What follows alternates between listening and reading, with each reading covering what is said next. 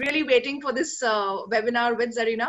Zarina uh, and uh, Sarika, um, you know, have very gratefully volunteered their time from their very busy schedules to come and speak to us. Um, so it's going to be a very interactive session. We are a smaller group, and um, I would request all of you to, you know, sort of, uh, you know, put in your questions.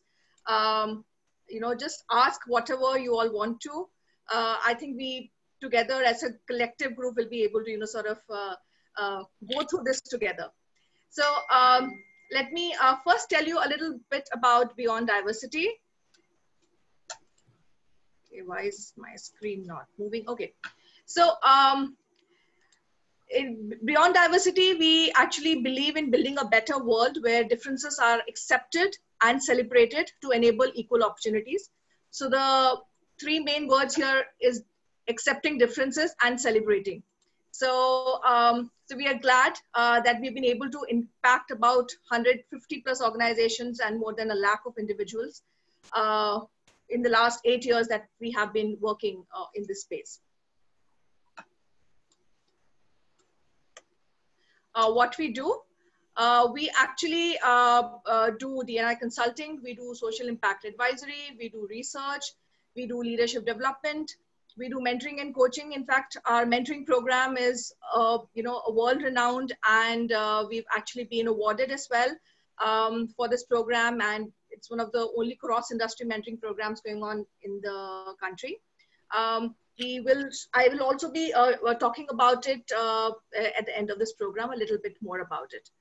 Uh, and we also do a lot of advocacy where we want to build positive linkages between business communities and people. So um, having said that, let me now first introduce uh, our first speaker, um, Zarina.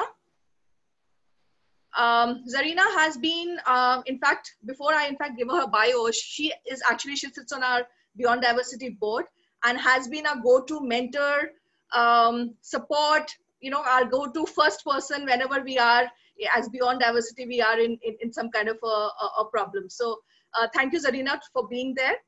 So apart from that, Zarina um, is from Hong Kong, but has spent most of her life uh, in the US. Um, you know, the, in the women in tech field, she's been there. Uh, she was in IBM for 18 years. Uh, a Chinese woman of color in the US, in one of the best organizations. I mean, she was the epitome of breaking the glass ceiling. Uh, she's held various positions in the field of sales and marketing. And uh, in the last few years, she actually moved uh, to Asia to experience this market as well. And she was the chief marketing officer for SAP in Singapore. And uh, two years back, she actually moved back to Austin um, uh, in the US and uh, is in a present role as the CMO of Syniti, where she uh, you know overlooks all the aspects of marketing, marketing from strategy, brand, and communications. Um, as I said, she's a board member uh, for Beyond Diversity, and she's a mother of two sons, both working and studying in Boston. So thank you, Zarina, for being here. Really, really, really appreciated uh, that you're always there for us. Thank you. Great to be here. Yeah. And our second um, uh, speaker today is Sarika. Sarika is also the co-founder of Beyond Diversity and um, born and raised in Kolkata from a Marwadi family, but breaking the glass ceiling, living across India and working across continents. That's what she is. Um, she is also an epitome of career resilience because from an investment banking a career to being an entrepreneur in making Beyond Diversity as uh, the foremost DNI consulting firm uh, and rated continuously over the last three years as the top 10 diversity consultants is, is, is a mark that uh, is not achievable so easily. She is currently putting her efforts in an education startup, uh, Plaksha University, and is leading the fundraising initiatives. Um, she's been a woman of influence the Leadership in Mentoring Award uh, from Hillary Clinton uh, was given to her uh, in 2014. In fact, that is why we actually are known in the mentoring space as an organization where we are actually building future women leaders. She is currently as advisor uh, to Beyond Diversity, but uh, very much uh, our sponsor and a mentor and support. she lives between Gurgaon and Hyderabad and is a mother to an assertive teenager. So thank you, Sarika, for being here. And you know, I know you've been very, very busy, uh, but thank you for taking out time and, you know, sort of being here. time for Beyond Diversity. Yes. So, um, so I just wanted to tell the audience what we're going to do today. So, um, by the end of the session, uh, of course, you all know the uh, you know session. It's managing stakeholders. Uh, but what we want to do is we want to go in a little structured manner. So we want to give you an awareness of what might be your stakeholders. We will do a mapping of your stakeholders and we'll you know sort of have a discussion whether they're delivering value or you are delivering value to them we also will also be discussing a very interesting thing of managing stakeholders because um, it can get tricky because stakeholders are of different kinds.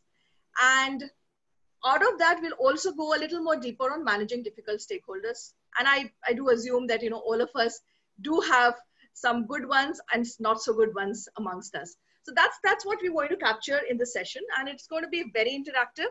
Um, so Zarina has been very, very um, kind enough to put across, a, uh, you know, a slide as well uh, for us to understand it better. So over to you, Zarina, and uh, let me know when I need to move the screen. And uh, over to both of you. Looking forward. All right. Well, thank you. Thank you very much. And first of all, uh, before I jump in, I wanted to really say that it's an honor to be a part of the whole Beyond Diversity uh, Foundation and the experience my first experience actually was with Rashmi and Sarika. Uh, some years ago now, back when I was in India uh, on a visit, and I really want to applaud your effort and continue to applaud the efforts that you do for you know the, the communities that you serve, and being a part of it is really a, a great honor to be. Um, and, and, and as we go through, just like Rashmi said, I'd love to have this being as much of an open dialogue as possible because we can all learn from each other and looking at specific cases and specific examples that you might like to share would bring this conversation even more to life. And uh, so if that's okay with you, Sarika, I'll go ahead and jump us, uh, get us jump started on the next page. Okay, so, um, so there we go. Um, so uh, when when uh, Rashmi and team uh, reached out to myself and Sarika, I thought that the two of us would be the best combination uh, because between us and uh, if I, I mean, you chime in here, Sarika as well too, we bring all these points of views, and I, I would also say that we're two very opinionated women. Uh, but hopefully, from the standpoint of being able to serve our stakeholders, and many of us combined here, uh, so myself, I've been in the global and the local perspective. I've been, you know, we want to also look at this from a business and a personal perspective. Uh, Sarika, you bring the entrepreneurial and the nonprofit perspective as well. And all of us are at one time or another, and sometimes on both roles in terms of being the shareholders as well as the contributors. So, uh, Sarika, you want to chime in? Uh, I, I could agree more, Zarina, on this. And I think um, with your global experience and with my local nuances to it, because there are cultural nuances to India as well, while managing stakeholders, and of course business and personal. We are managing as women we wear many hats all the time. So i think that will be interesting to see how we manage the different balls which are thrown in the air whether it's family whether it's career whether it's you know uh, any other stakeholders including our extended families of in-laws and maids all these are mission mash of all kinds of stakeholders so looking forward to this conversation and uh, and one thing which rashmi spoke about the career resilience I do believe that managing stakeholders in any kind of a careers remains the same. So I think the the changes within the careers have been far easier if we understand managing stakeholders in all aspects and maintaining those relationships in all aspects. But yeah, couldn't agree more. Yeah, I, I love what you just said as well too, and probably we should have highlighted this that there is a lot of cultural bearings, whether it's because of heritage or because of gender, because of just our overall upbringing uh, that that's a big part of how we would look at things as well too. So I would really invite the audience and those of you expect you know uh, male, female, you know, contributors or, or, or stakeholders or managers, not managers to kind of help us bring this to life because we've all played different roles. And uh, the one thing we highlighted on here on the last bullet is that I think the important part is, is, is balancing both, right? Balancing all of the above. Uh, at one time and, and sometime I, I told my son sometimes i feel like i'm schizophrenic because in this moment i gotta be this and that moment i gotta be something else. And in all moments i have to be at least one two and three. And you know it, it's a little bit of a challenge just in our own days. Uh, and i think that especially right now and as we talk about in the title um, the pandemic has thrown another curve at us And all of a sudden, you know, what used to be maybe a balanced view is kind of tilted, you know, one way or the other. So I love to have our dialogue to also bring in that, bring in bear in terms of COVID-19, what has it, what has it been doing for all of us. And uh, I'm sure that Sarika and I have our own respective, uh, uh, you know, examples. I love for the audience to help us with this as well. So uh, with that, let me just uh, go to the next page. And uh, as we were putting, I'll just yeah. add one thing, Zarina. Um, so telling all the audience, if you have any questions in the middle, do put it in the chat mode so that in case if something is coming up with the things, we will try to address it as well. So make it as interactive as possible. Yeah, and I will be looking at the uh, screen and I will put across the uh, questions from the group to you. Perfect, perfect. Yeah. So um, the first thing we thought that as we were going through that, let's do a quick revisit. Sometimes it's good to go back to the basics and answer the question is, what is a stakeholder? Uh, and if you could go to the next page. Um, yeah. Th this is a, yeah, th this is, this, oh, sorry, go back one more. Yeah. So sorry. Yeah, this one. Thank you. Uh, I think we all have different notions of what we meant if the word of stakeholder comes to mind. Uh, it would be interesting to kind of see, and it's also situational as well, right? And sometimes it's by precision, sometimes it's by the given circumstance, but oftentimes it's very much situational. And so we have to be very nimble. We have to be aware of it. And, and I think that, you know, Sarika, you and I both echoed in the fact that, you know, being able to be aware, first of all, who is a stakeholder, and which is basically someone, usually is one person or I mean an entity, or sometimes could be a non, could be an entity, not an in, individual person, uh, that has an interest or concern about something. That something is what makes it situational. And uh, in our conversation and through Rashmi and team is that we wanted to first and foremost, of course, address the business perspective.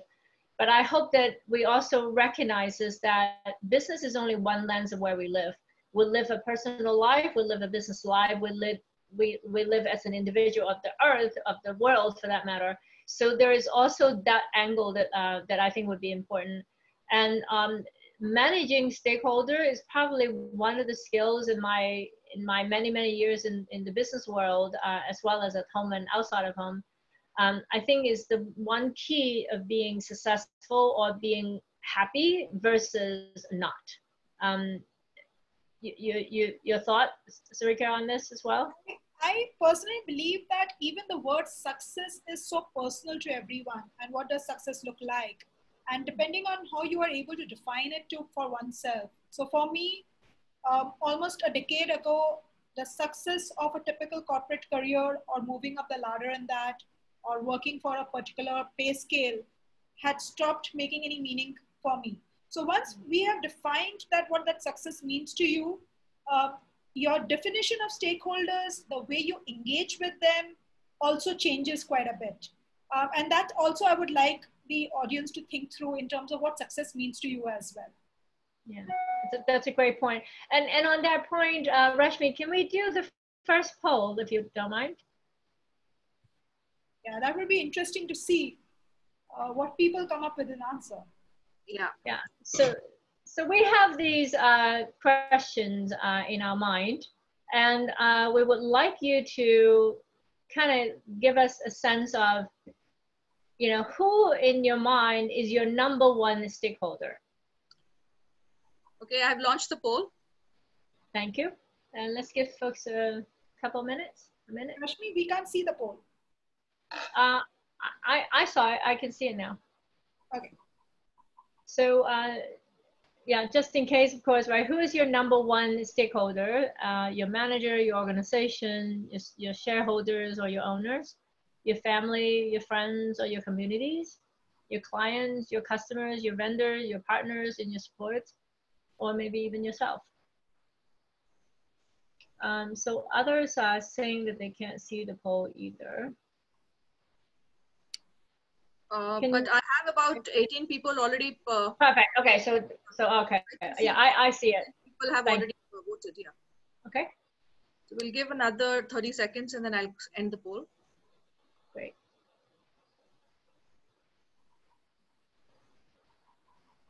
Yeah, this, this is some part of the of our own debate as well too, right? Man, it's hard to rank who is number one here.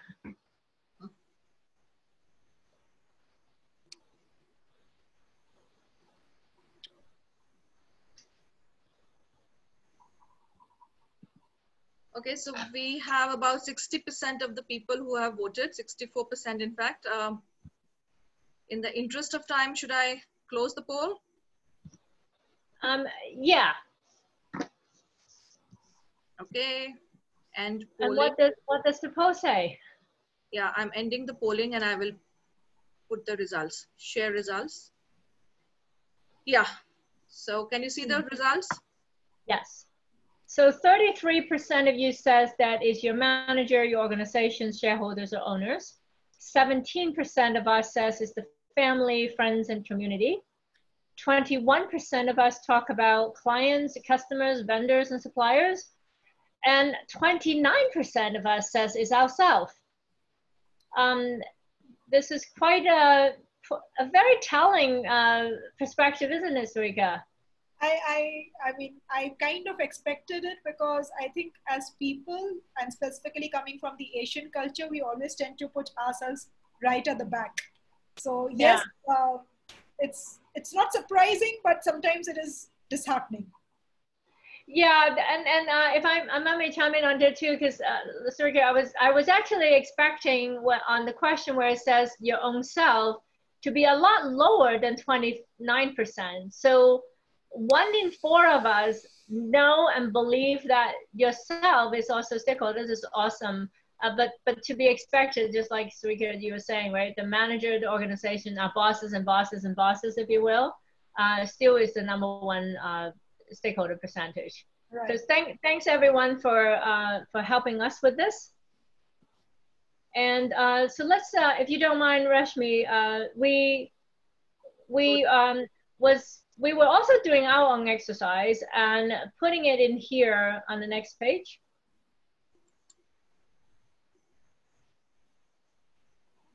There you go. Okay. Um, so we we were also going through is that you know, and it's great to know to see others.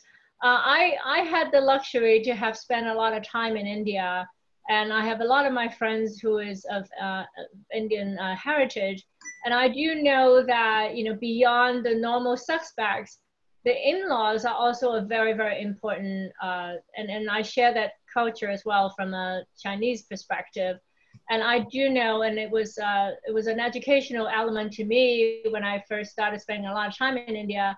That our in-laws and your in-laws really do have a lot of uh, say in you know in, in what we do. So that's a big part of the stakeholders. And if you could build the animation, uh, that's the next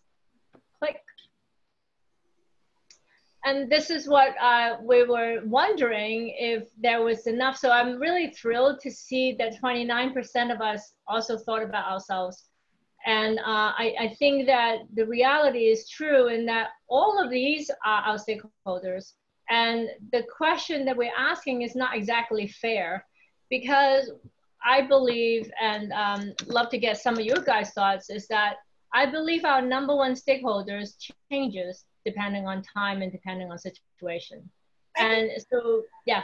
I couldn't agree more with you, Zarina, because when you spoke about whether it's our children, whether it's in laws, at every stage of your life, when you're a young parent or when you're newlywed or later on when you're moving up in your career, and uh, you know, every time the stakeholders, you know, your number one stakeholder is always you. You need to do what needs to be done and then accordingly the stakeholders change. Because i remember when i was a young mother for me my son's and his well-being was the first one.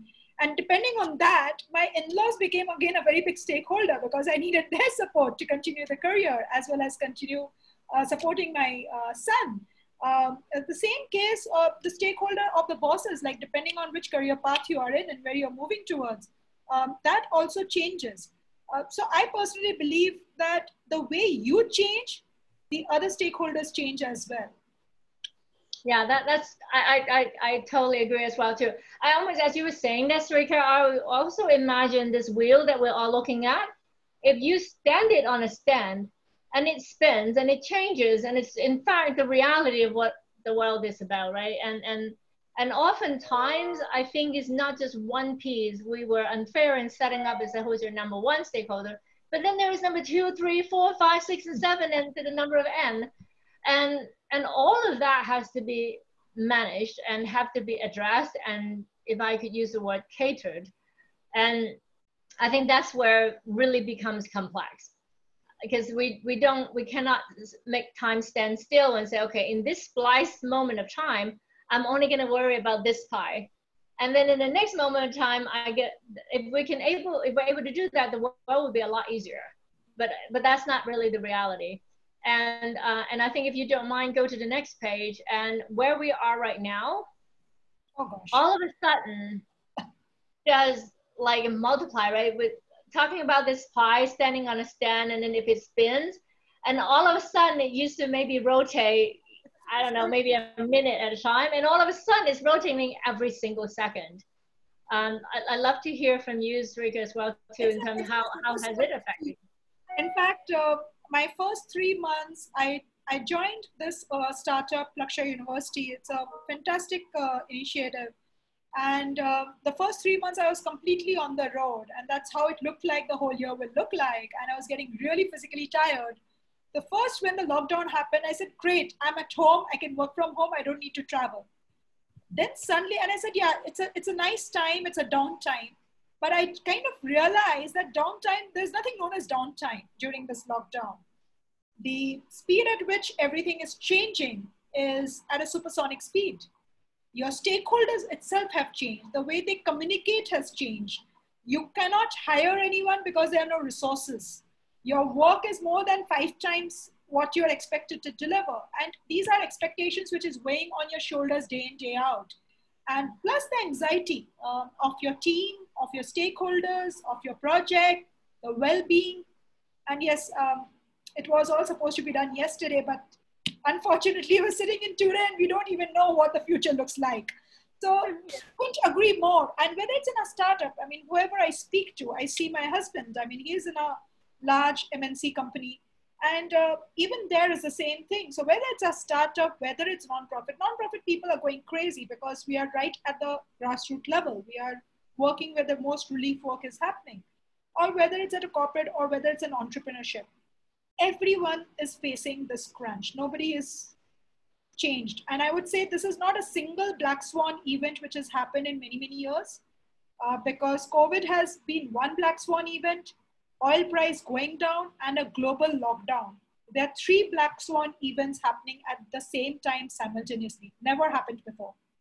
Yeah, yeah. And it's really interesting too is that one, one of the things that, uh, and as Syniti, we are a global uh, company, so we have members everywhere around the world. So the dimension of time change and the dimension of, you know, the world perspective is one. Uh, what I really want to, and, and in particular, shout out to all of you who are now all of us working from home. But at home, you're also sharing the space, the attention time, and the attention span with the rest of your family. Right? Yes. Your family could be if you have kids, and we all, a number of us have, and we were talking about it right before we joined here, that we have you know, some of us have young kids and some of us, you know, unfortunately, in my case, they're, they're kind of grown, but in a sense, it's kind of bad too because they're not here. I can't even see them. Um, and, and I could really envision, and one of my team member, actually two of my team members have really young ones at home. And we were talking about how do you manage even your kids in this case, right? They're doing homeschooling and they're now at home so they're sharing the load of what the teachers possibly would be doing in the classroom but now at home and all of a sudden your stakeholders like 5x 10x and and, and then you know so so one of the things I, I take a lot of pride in is that when i do meetings if their kids needs to come in i just say hi to them and i want to make them feel comfortable because we're all in this together in fact, you know, I'm glad, Zarina, you picked it up. I'm a mother of a teenager, and you know, a teenage son can be a pretty handy kind of a thing. And that person is now uh, at a lockdown, doing homeschooling.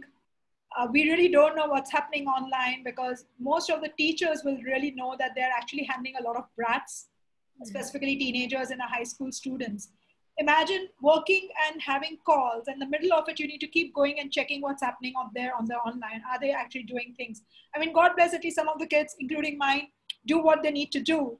But it's it's it's a it's a what I'm saying. It also takes your mind space and your bandwidth. So with the younger kids, it's physically very tiring.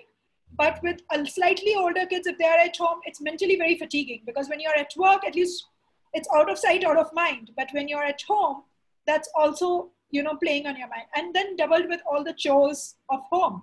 Uh, one of the things I would also like to point out, Zarina, is that India being a situation where we have always had domestic help.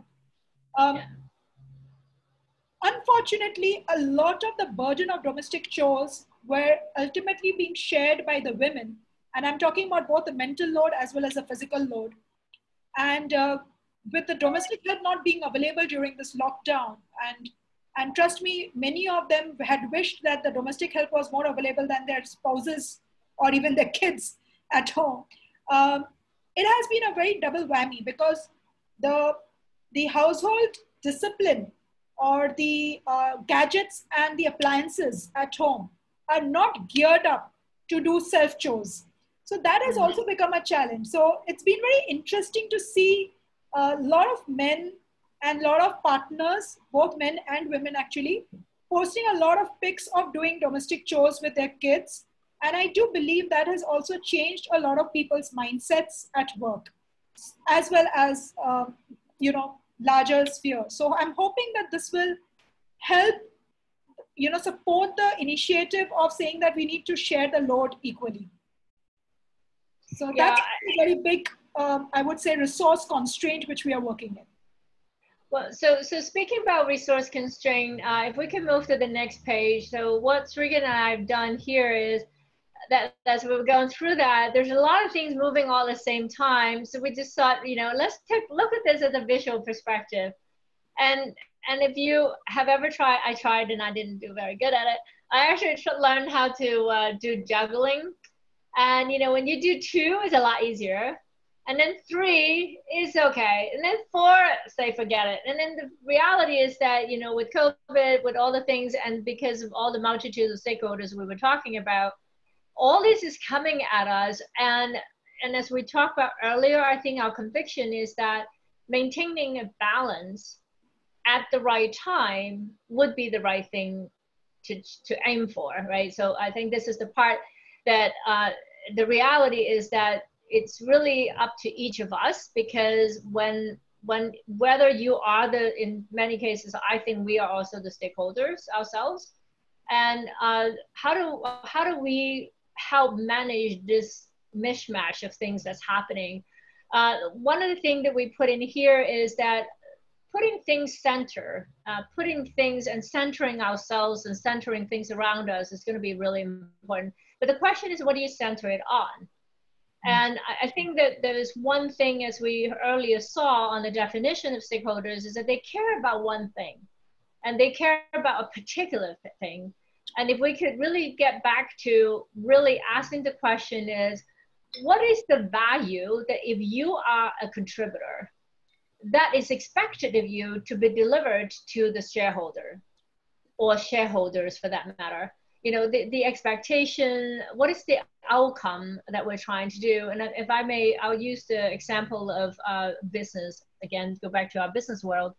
That you know as as the CMO of the company and as every member of my team, our core in terms of driving outcome is for the business in terms of you know results, pipelines, presence, progressions, and the like, and anchoring on what is the value that we deliver helps steer things and give much better clarity is my is my one conviction.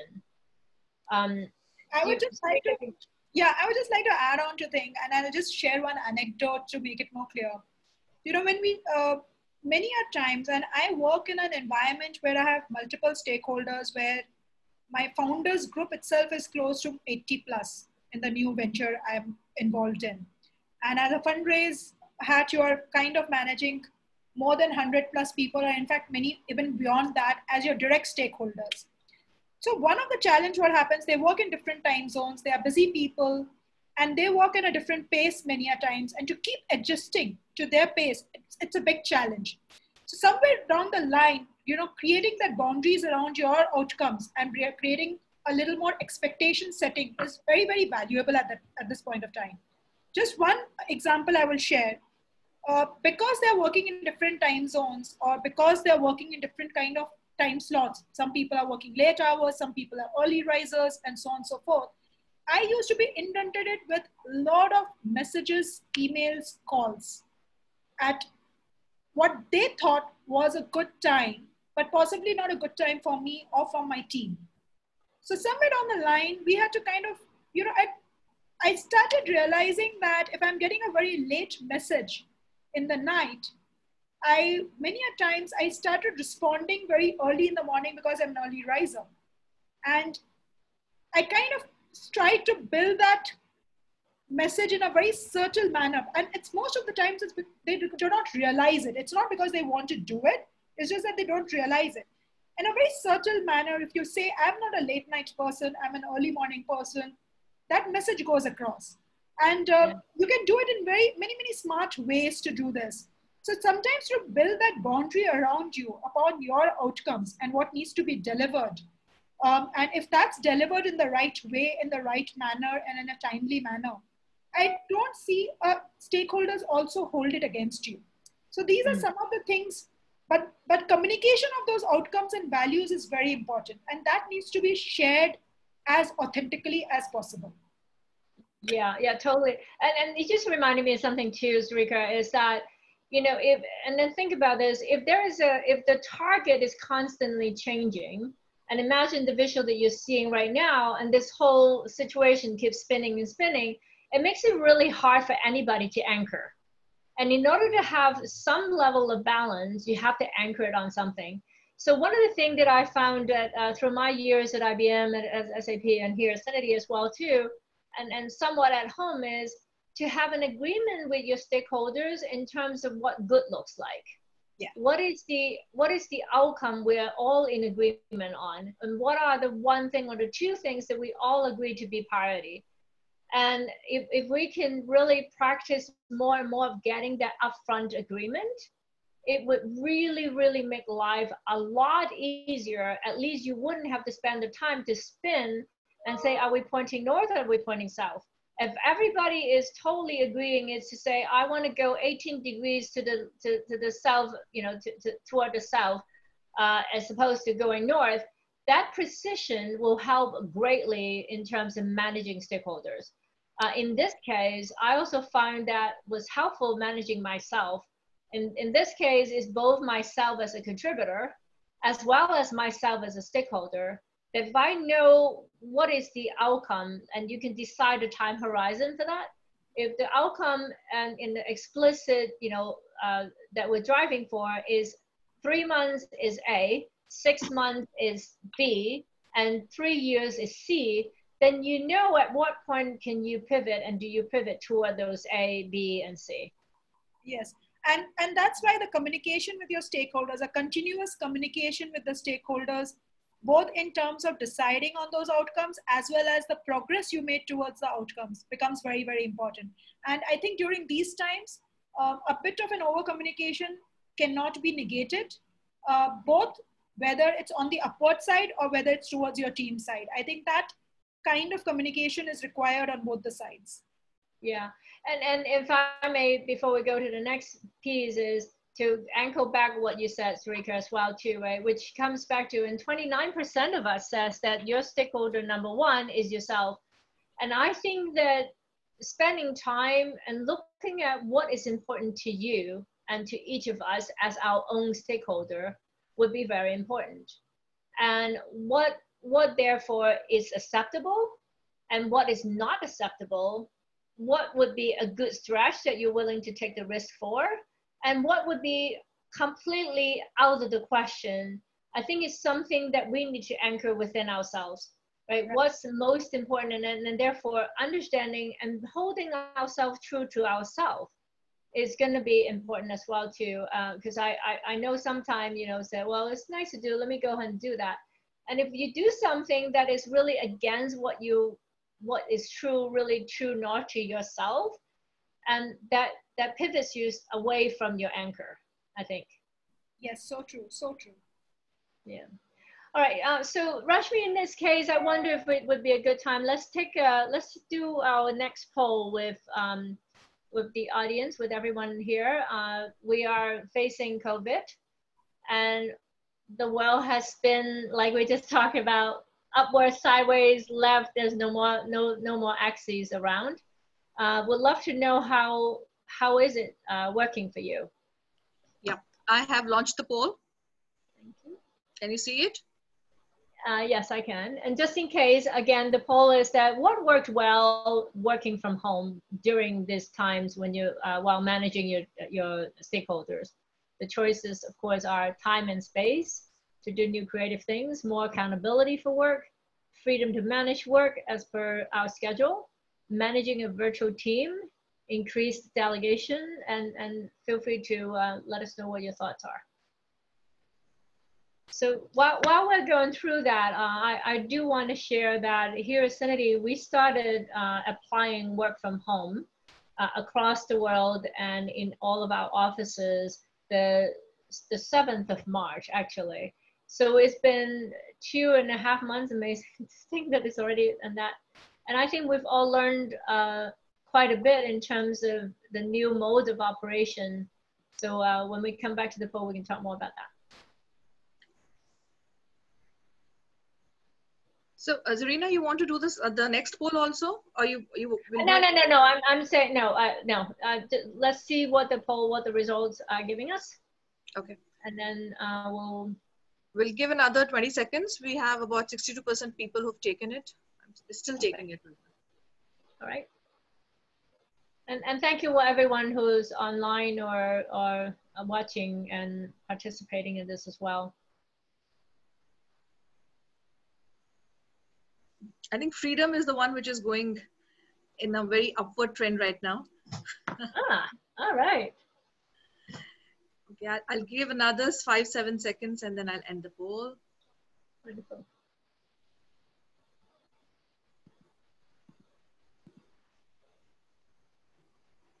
Uh, okay, I'm ending the polling right now. Okay. Sharing the results. Wow. Yeah, so I guess we can all see that, uh, like you said, Rashmi, the first one was freedom to manage work as per my schedule was 83%. That's a really awesome, uh, uh, you know, uh, uh, indication in terms of how, how things are working. Uh, the next one that has the highest is actually number one, was the first one, which is 50% of us talk about time and space to do new creative things. And then right after that is 46% uh, of us talk about uh, 40 uh, managing a virtual team. And then uh, we have subsequent to that is more accountability for work. And uh, last of it is increased uh, delegation.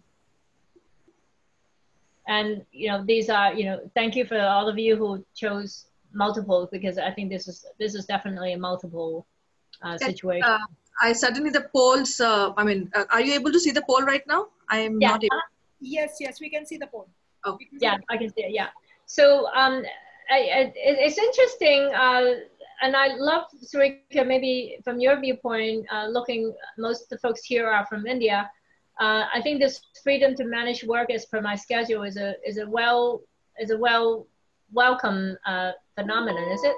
So in fact, uh, you know, Zarina, I know working from home was over the years trending and moving towards it. But even then in India, the, the culture being such that that if you're out of sight, you're out of mind. Your managers want you to be in the office. They want to see what you've been doing. And while some organizations, specifically IT industry, had started the trend for work from home, but it was not there happening in the other industry. I am suddenly seeing, and whenever I'm speaking to many other stakeholders, many other business leaders, I'm kind of realizing and I'm hearing this. They're saying, you know what, this is working quite well. I didn't realize that work from home could work well. And all of these were the skeptics earlier.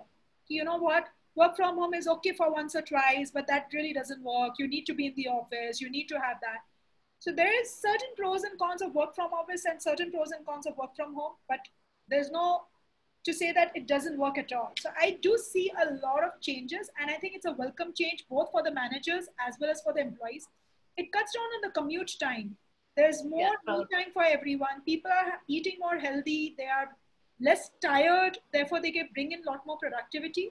But yes, it does bring down a bit of the team element, I would say, the whole team effectiveness element, which a lot of managers are now struggling with and they're trying to put it together. But I'm not surprised that everybody is rejoicing the fact of saying, I can manage as per my schedule. I can decide what time I want to start or what time I want to end. Uh, though I do believe that people are now working much longer hours compared to earlier, but still that freedom and flexibility is there. So I, I welcome this change quite a bit. Yeah, yeah, I, I echo the same with you as well too. So, um, so when I was when we were working from the office, just take my personal uh, arrangement. So when I'm in the office, it takes me. I'm, I'm very fortunate uh, compared to a lot of the traffic that I am very cognizant of and aware of in India. Uh, it takes me usually about 25 minutes to come to the office, and then it takes me sometimes 45 minutes to go home if I'm, you know, going to the office. About, and just saving those time and the hassle, and then, you know, uh, and we'll talk in a minute here uh, in terms of how, how to make the most out of the work and from home environment. That was really a welcome change to me that I didn't expect. I mean, that I wasn't, it was so much for granted that you have to travel to go to the office and that you had to arrange for time and so on and so forth. I'm, I'm saying just look at the number of events, the virtual events which have gone up. People have raised funds on virtual events. I mean, I used to travel crazy. I was doing India, San Francisco. I, in last three months, in from Jan to Feb, I did some three times. And yeah. it was such a waste and such a big carbon footprint, I would say. And now we are hosting these Zoom webinars with our stakeholders.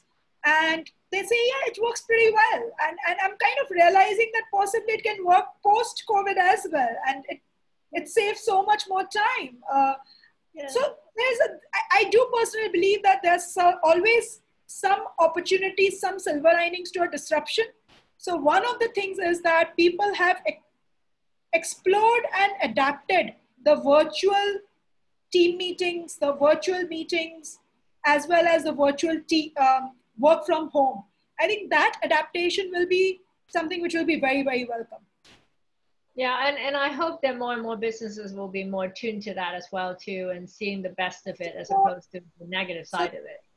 64% of the CEOs recently surveyed said their productivity of the team has gone up since the lockdown. Of course, the business is down, but the productivity is still going up. So that says a lot as well. Yeah, yeah. this is what was needed yeah. well, let's uh, the, tell both of you that we've uh, just got about 15 minutes. So uh, let me know how you all want to go forward. Okay, yeah, if you can go ahead and move forward to uh, some of our collective observations in, in terms of work from home, uh, that would be helpful. That'd be great. Okay, so, so the next page. The next poll? Yeah, no, no, no, the next page. Which should be, yeah, and then there you go. Okay. So, so these are just some of the things that we we were brainstorming, right? Sarika and I were going through this is to say is that what are some of the things that we could count on a little bit more. Uh, I think it's pretty self-explanatory. So in the interest of time, we may not go into all of that, but I do want to highlight two. Uh, one is that, and, and I, I'm very cognizant of that in the sense that when you are so used to, and all of us here, I think, are very used to being in front of other people and being whether it's because of the commute or because when you go to the office there are teammates. And in, in india in particular i love the i love the buzz that you know you watch in the street and that's always been my favorite time when i'm in commute and i'm watching everything's going on and all of a sudden all those stimulus the positive side of it are gone and and I think that that's really important to make sure that we take as ourselves now, whether it's ourselves as a stakeholder or other members of the family who are now with us inside the work from home or school from home. Uh, the mental being, the wellness uh, about, and, and the physical wellness uh, is, is something that I just wanted to kind of underscore. You know, if it is the mind, if it is the body, because your, your norm, our normal routine is no longer the routine. No, I I you know, some of the routines is good on this, but one of the things which has worked well for me also is that it gave me time to pick up my own interests and hobbies. So while a lot of people have focused on meditation, my, my partner, my husband focuses on meditation, I focus on painting. I picked up my interest of painting. I noticed that. That's yeah, beautiful. My, uh, so my painting and reading I started, and that's very meditative. So these are some of the things which worked for me. And um, I do believe that having mentors and sponsors around you, which are, act like a personal advisory board. I know, Zarina, I have you on my side, and that's been a blessing. Um, reaching out to them during this crisis when you feel that there are some questions is a great way to bounce off some of those anxiety, concerns, or any kind of issues which you're dealing with right now. So building up those kind of stakeholders, which is just beyond your work and beyond your yeah. family, is also very, very important. I would, I would like to add on to this. Yeah, totally. And, and that network, right? And then uh, if you could go forward to the next page, I think this is what, uh, you know, we always talk about managing stakeholders as if you have to manage them. And uh, I think what we wanted to say is here is that there are, no, go ahead, uh, yeah. Uh, there, there, there are the reality in terms of stakeholders by right and by definition sometimes could be your best friend. It could be your best ally. It could they could be your best of everything. And uh, these are just some thoughts in terms of uh, you know uh, as, a, as we were thinking about it is that you know this is the first part and i really learned this uh, over the years as well as one of my my dear customers here uh, one of my uh, and and he always talk about start with the end in mind. If you remember the picture where we had a lot of juggling balls and you know going up and down and all that and anchoring on what is it that we're trying to achieve which is this end in mind will always help regardless of whether you are a stakeholder or a contributor i'm going to make an argument that all of us if, if at any point of time that if you don't think that you are a stakeholder i would ask you to think again. Because at the end of the day whether you like it or not you are a stakeholder managed and as well as you know uh, touched by other people. Sometimes we forgot about that. Sometimes didn't know that at the same time we're contributing we're also being a stakeholder um, you know and then understanding and finding that common ground uh, which is the whole anchoring element you know is is part of negotiation really frankly and I think Sarika, you mentioned about the over communications, and big part of the over communicating, I totally agree with that as well, is is being able to be actively listening, uh, and and being on the end of appreciating where they're coming from is, is a big part as well too. Yeah. Do you want to talk a little bit about the the empathy piece? Yes, I, I do believe that putting yourself into the shoes of your um, both your managers as well as your employees. Remember this that even the managers whom you're reporting into, they also have their own sets of pressures of business, timelines, numbers, everything put together, as well as with your team of working from home and everything. A bit of an understanding on both the sides does help you to bridge that gap between the two of them quite a bit. Um, and I did see a question on the chat box. I would not say a question, a comment from Manish, Manisha out here.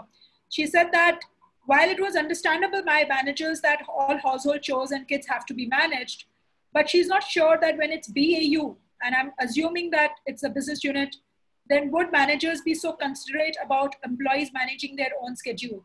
Well, Manisha, I do understand that everybody has to work on a certain time zones and time frames but a, a, bit of an empathy during this period of time that those time frames and time zones might change a little bit goes a long way.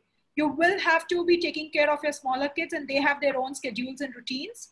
And therefore knowing each and every individual in your team and what their challenges or individual challenges be has become more imperative today. So empathy is a very very big and that and you can manage your team scheduling accordingly and make sure that everyone has their own personal space or maybe three or four hours is such a space where everybody can work together.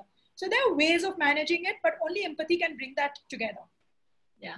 I, I think what i also read on that on that comment too is that in a sense the pandemic had thrown people to realize and accommodate or, or allow things to be a little bit more accommodating such as you know doing the household chores and i need to go do this right now i have to go you know take take care of the kids or whatever.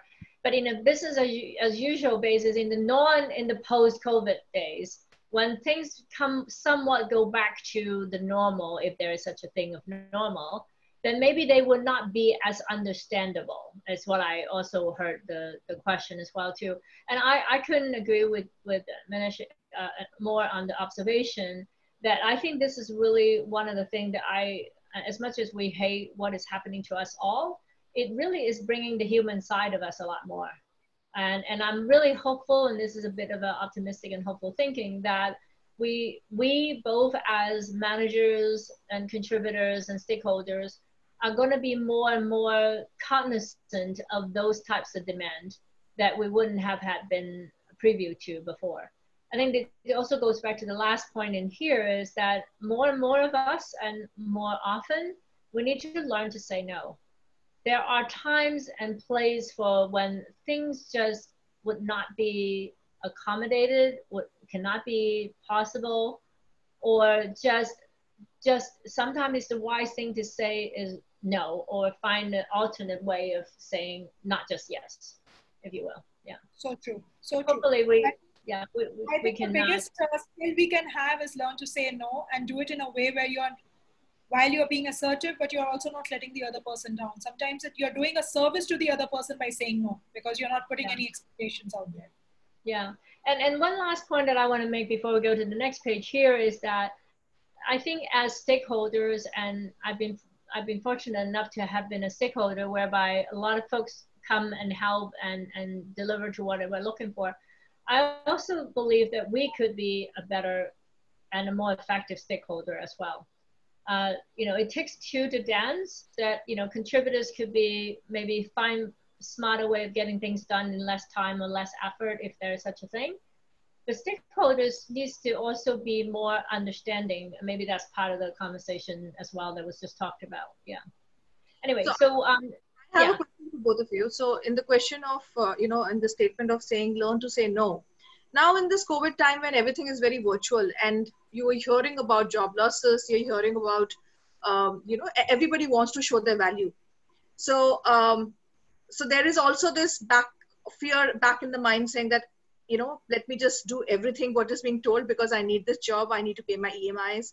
Uh, so, how do you say no there? I mean, you know, you there, there is this entire pressure to you know sort of uh, because the circumstances are that so how do you yeah. do, manage those things I'll, I'll, make a first step, step at it I, I think this goes back to our earlier point which is to find center to understand i mean at least within your own personal parameter what is acceptable i'm going to make this just very blunt so if it is as, as, as example if your family if you have all your family, your your parents or your in-laws and your children all there with you, and that 20 minutes or the 30 minutes of having the time with them for dinner is, as an example, if you agree to be unnegotiable, that is the time that you're going to have.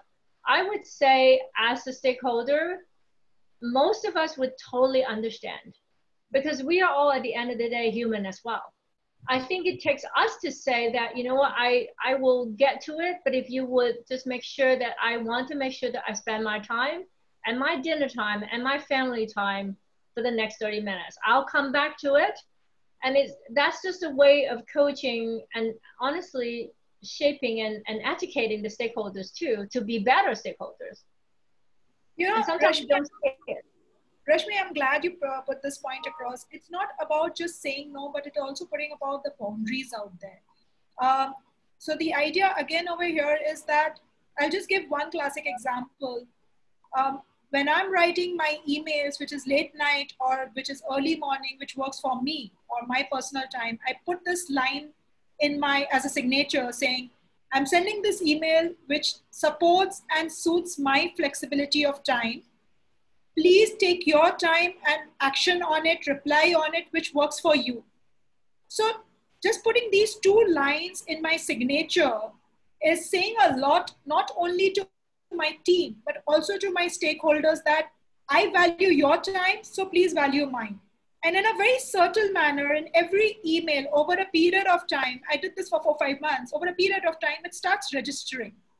And it's a good practice to have for many senior stakeholders also, because then you are in today's world, when we're living in a virtual world, when everybody is working in different kind of time zones, uh, it's when you read that, you understand that the person has put it at their own time. It's okay for me to put it or reply to it or action to it in my own time. You have to be a little, uh, what you call, subtle and smart about it. Um, nobody is saying an emphatic no, but you have to be smart about it. Or you can ask, it's great you want me for to do this. Um, just to let you know, I'm working on this, this, this. I have a team member, Nikita, who does it fantastically. I possibly pull her into so many things because she's fantastic. She delivers so well. I want her in every project. So I will every morning I'll say, hey Nikita, you know what? I have two more ideas. Can we do this for our marketing? Can we do that? She does it so well, and she's a young girl, and possibly I can take pride in the fact that we coached her. She just says, fantastic, I think it's a great idea. You know what? I'm working on XYZ right now. Is it okay if I focus on this for today, this for tomorrow? I should take this much time, or help me to prioritize which one should I do well. So instead of saying no, you're letting a stakeholder know that your plate is already full or your plate has certain urgent requirements and you can possibly prepone or procrastinate the other ones. So sometimes it's also important to do it in a smart manner is what yeah. I'm Yeah, to- totally. And, and the smart thing would also sometimes leverage uh, the, the, exactly. the plan, the team of the, the approach of leveraging is a very important part. It doesn't mean to say we're the only one who could do it. And then if you can, yeah, that's, that's awesome. Yeah. So I'm just uh, cognizant of time. Uh, let's go ahead and wrap up if, if we may. Yeah. Uh, to, to the next page. Um, this is just um, a quick a quick view in terms of you know, yeah. Um, there there are going to be times where we have to just set to ourselves what good looks like and what bad looks like. And if you recognize that it's a situation when it's really, really bad, so we decided not to fill in the blanks in all cases and kind of leave it up to you. But one that we decided to go ahead and do is that a really bad situation is when someone begins to be a bully. And I, I think that by right, not eh, none of the stakeholders should be bullying others in order to get things done. And bully has no respect and has no room, certainly in the business uh, environment. And I think certainly not at home, not at school either. And I, I just wanted to kind of bring that out. And as we were going through that, is to say, let's, let's be cognizant of that. And none of us should subject ourselves to it. And, but that goes into the point is that if they're in a position of power, how do we, how do we manage them or somewhat train them to be either less bullying or make the point clear that bullying is not acceptable. And, and that's going to bring some of the really hard questions, uh, hard conversations. In fact, uh, you know, Zarina, I would just like to add one thing just to for my audience. Bullying ne- never necessarily means people who swear bad words or use harsh language or raise their tone and other stuff. It just does not necessarily mean that. Bullying could be possibly people who are undermining you, people who are criticizing you a lot, uh, who are not holding you responsible enough to give you certain projects over a period of time again and again and again. Even that over a period of time, time takes a lot of emotional uh, toil. Yeah. And there are ways to deal with it. Of course, the last way is always to quit and say that you can't. You mean most of the people don't quit organizations but quit bad bosses. Um, but I'm just kind of putting it out there for people that we need to be cognizant of the fact that we are working in very, you know, very, very different and difficult times. And uh, we need to be also taking care of our mental health. And if someone is putting you into through that stress, or if a stakeholder does this, uh, it's important enough to educate and get some sponsor to speak up for you. So there are a lot of ways to deal with it, but there's definitely not a way to accept it. Yeah, yeah, and and it's awesome as well too is that when we talk about earlier, there are multiple stakeholders. Sometimes just leveraging the other stakeholders to either minimize or to kind of reduce the impact or the pain associated with that one bullying uh, stakeholder could be one way of solving that as well too. And then on the sure. positive light, there are, and I, I've had been really blessed with the situation that a, not, a lots of times the really good and understanding stakeholders whom you actually have over time earned the respect of, they become the best sponsors for us. And so it's kind of the yin yang to say, okay, is it always bad? Is it always good? No, it's it's it's the balancing of it again. And uh, and I think if we do this right, and if stakeholders learn how to be best stakeholders, they could be the most wonderful ally that you could have. Yeah. All right. Okay. So I think with that, we should just wrap up. And, uh, and this is just some of the takeaways. And I'm sure that each of you and the audience have your own takeaway. Um, this is just something we have thought about. Uh, should any of these situations happen, I, I've learned over the years is that don't take things personal. Because the moment we begin, we begin to be personally emotional, that takes away the wit, that takes away the, uh, a better judgment, if you will and that take every moment as a learning moment because we can always get better we can always learn and you know we just talked about you know say no when you know it's not the right thing to do or when it's the right thing for you to do is to say no then you know trust your instinct and follow follow your instinct. And I am always a believer if you don't ask you will never receive. It's it's it just you know you just have to ask. Yeah. like uh, we asked you to be our mentor and to be our sponsor. Yeah so really, thank thank you, uh, Sarika and Rashmi and everyone on the so call. The takeaways, uh, Zarina, just be there. I'll just just take a quick rapid fire round for both of you around your stakeholder management. I think the audience would like to know more uh, about how you sort of uh, react to stakeholders. So it's a very quick question. I want you all to answer in one line or choose, you know, this or that. Um, and uh, I, I, think then we'll all be more clearer as well as to how do you all respond to situations. Okay, so my first question is, how would you rate your own stakeholder management during this COVID times? And you could give me a percentage number, just percentage. Um, so I'll, I'll, start. I'm going to say that I'm uh, in a scale of one to 10, I'm probably like maybe eight uh, I, I think I, I, I don't take good care of myself enough that uh, I haven't, you know, preaching our own preaches that I need to take care, better care of myself as a stakeholder.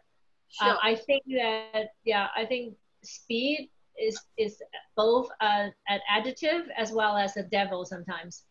So just balancing that. Sarika, what about you? Uh, I'll give myself seven because it was a new uh, environment in a new place, still learning on this. And I still see a lot of room for improvement, both for myself as well as the engagement with my, all my stakeholders. Uh, but um, one of the things I would definitely like to say is that uh, none of the stakeholders are completely black and white. Um, none of them are, uh, you know, I, I'm just say that as what Zarina said, we just need to kind of consider them as humans and just move ahead. Um, they are they are not what your destiny or they are not your destination uh, holders. So just move ahead with that. Okay, so uh, one one last question before we close. Stakeholders, in your view, can be managed better in person or um, uh, virtually? My my answer to that I think is indifferent. Okay. Stakeholder management is about the interaction, and interaction is a combination of both face-to-face versus virtual or combination therein. Yes. I don't think that. I, I would say it depends on two factors. Um, there are certain stakeholders who do not prefer a virtual, uh, who do not prefer virtual. They are more meetings person, and, and I'm seeing some of the older stakeholders in terms of generation and age, um, and sometimes that makes it difficult uh, because that's their preference and that's the way they have always dealt with. Uh, but in other cases, I also feel that when you have, right now we are all in a level footing because every one of us are moving virtual. All of us are in the virtual mode. So there's no other option. But suppose if there is an option of virtual and real, I would say do a good mix of both. Uh, you will not be able to get meetings, but you cannot just keep waiting for the meetings and not have any communication in between So you need to work on both. So I, for this period of time, it's indifferent, but in other normal circumstances, and I hope we do come back to normal circumstances, it will be a mix of both. Sure, yeah. sure. Okay, so one last word from both of you to, uh, you know, on surviving and thriving while managing stakeholders. So one word uh, that you can give to the audience before we close. Communication. Zarina? I would say self. Pretend that you're going on an airplane. They always ask you to put the air mask on the other person yeah. next to you first. I mean, on yourself first before you do the others. Yeah. Okay. Okay. So thank you so much, uh, Zarina and Sarika. I know we are a little above time, but uh, very, very interesting uh, thoughts. And thank you so much for putting this together, both of you.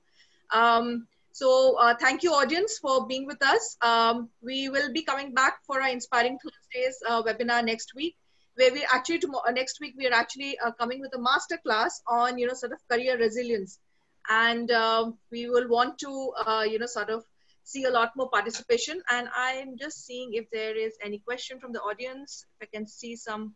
Maybe you want to speak about the iLeap program, uh, Rashmi. Yes. So uh, we sorry, will. I'm, I'm sorry. I'm wearing a business hat on. I always tend to remind about business. yeah. So no, we will be formally launching the iLeap program uh, uh, post the next webinar, where uh, we will be talking about career resilience, and we but unfortunately that that entire mentoring uh, iLeap program is for women. So here we today we have both men and women. Uh, uh, uh we will be coming up. We are have been known for our mentoring program over the last seven eight years. We've got a lot of accolades and lots of rewards for it. People have found it very very useful. But in COVID times, we have now made it a totally virtual program where we are uh, getting the similar kind of an experience, but you know, adding a lot more value and doing it virtually. Uh, so we will be formally launching it uh, by next week. We will be looking for nominations from everybody, from organizations, from individuals um, in the entire month of June. And we will formally starting the program by mid of July. So please hear from us. Please do follow our handles. And um, we look forward to having you uh, with us in this mentoring journey. So thank just you. thought, well, just one parting thought. Sorry, I'm a spokesperson for Beyond Diversity, whether Sorry. in or Beyond Diversity. So um, Ben, please please do not uh, get disheartened. There are programs for you guys also. We have coaching. We have panel of coaches. You can take coaching sessions uh, with our panel of coaches, and they have done extremely well. Whether it's on personal branding, whether it's on managing stakeholders, or any other such issues which you manage. So do write in to us, um, as we can also help you to become better stakeholders and be better managers.